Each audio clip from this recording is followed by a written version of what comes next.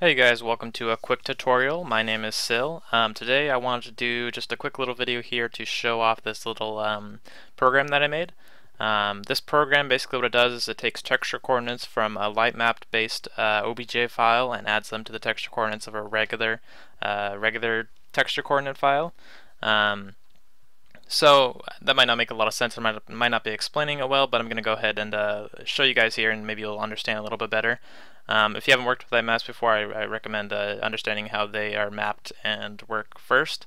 Um, but as you can see, I have this uh, scene here with one light, um, and you can see it has some pretty harsh shadows, um, as well as three different objects. Um, and if I go ahead and look at these objects here, you can see that they already have UV uh, uh, mappings for the baked light map, and those are on channel 3. If we go ahead and open the, where is it here, open UV editor, you can see the light map here for that one. So each one of these has its own light map already baked in, which is nice. Um, but right now, the exporter for 3ds Max doesn't have um, built-in support for multiple uh, texture coordinate channels. Um, it'll output the material with a reference to where the file should be for um, the light map, but at the moment you can't get the texture coordinates. You can only you can choose which texture coordinates you export. You can either choose the texture coordinates for the uh, first channel or for the third channel or whatever channel you're using. Um, first and third are the ones that are important to me, but I wanted to be able to have both of them at the same time so that I could have textures and I could also have the self-illumination map. And as, as, you can see, the self-illumination map is that light map. Um, that's where it's mapped to. Um, and that's why it works so well. So I'm going to go ahead and show you how it works here. Basically what we can do here is we go export and we'll name this and we'll go ahead and put it in this tutorial folder I made here. We'll name it tutorial. Uh, let's just name it model. Alright, and then we're going to go to map export and we're going to make sure it's on channel 1. Um, and just all these other settings are uh, default settings that I use and we're going to go ahead and export that there. There we are, and then we need to go export again, and we're going to call this model, and we're going to put all caps light. Um, that's just for the program itself. It just has a kind of arbitrary identifier to figure out uh, the two relating uh, objects or two relating uh, files in the same folder. Um, so basically just need to put light for the light map one and since this is the light map one we're going to export the light map's texture coordinates and the only thing that this it's going to use from this light file is really just the texture coordinates. Um, it's going to make sure that it should relate in certain ways to the first file so it should be the same file you're exporting um, but all it'll really care about is the texture coordinates. So we're going to go ahead and export there as well. And then if we go ahead and open up that folder there, you can see that we got both OBJ files and our MTL files. Um, the MTL files, you can see, as I was saying, these are the two different um, uh, texture textures that are mapped to each material that are used, right? So you can get both of the textures. You just normally, if you go look at the uh, regular model.obj, you can see that all we have is, I think it's a vertex index, I want to say it's texture coordinate and then normal, if I remember right. Um, but we only have one normal for each uh, each vertex in each triangle. Um, and, and if you haven't looked at the OBJ file format, I recommend going and look at that first so you can understand what I'm talking about. But basically, the OBJ file format doesn't support multiple texture coordinates as far as I understand. So what I did is I made a program that would um, kind of combine those two files that I just made. So this is my program here. If we go ahead and, go ahead and open it, it doesn't do anything at the moment because we didn't give it any arguments, so it doesn't know what file we want to do. Um, we're going to go ahead and close that, and what we can do is we can just add um, add the path to this file to the argument 0 by dragging and dropping on top of it. So we can just we can do either one, either the one with light in it or the one with not. We'll just do this one, and it'll automatically go ahead and find both of those files, as you can see there. And then it'll ask me for an output file name. If you do DEF, you can just uh, make it overwrite the original file, um, the one that doesn't have light in the name.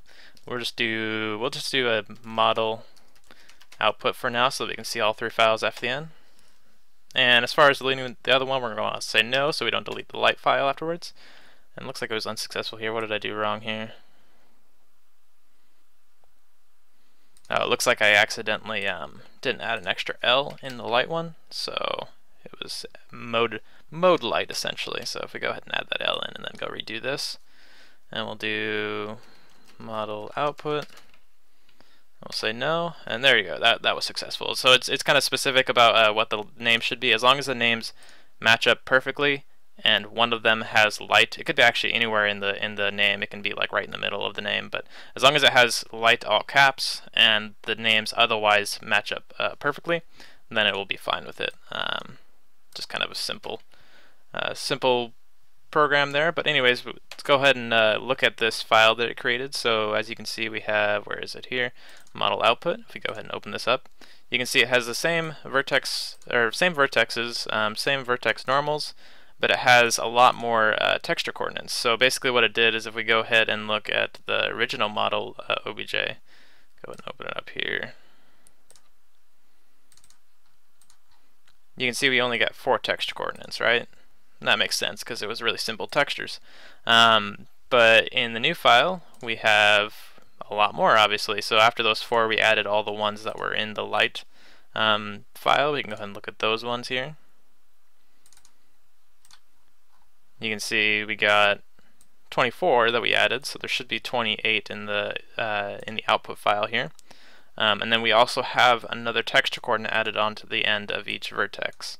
Um, one thing to note also, this program is kind of nice because it, um, if it finds an object that doesn't have texture coordinates in the light file for um, for the third channel, for example, if one of these objects uh, didn't have the light maps baked, um, basically the texture coordinates would look something like this.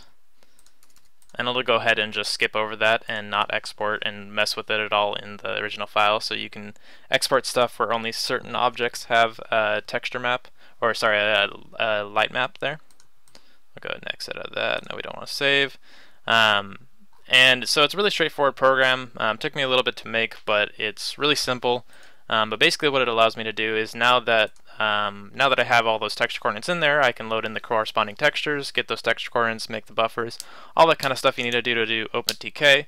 And then if we go ahead and look at this here, and I'm making a multiplayer game, so that's uh, um, working on making a multiplayer functionality essentially.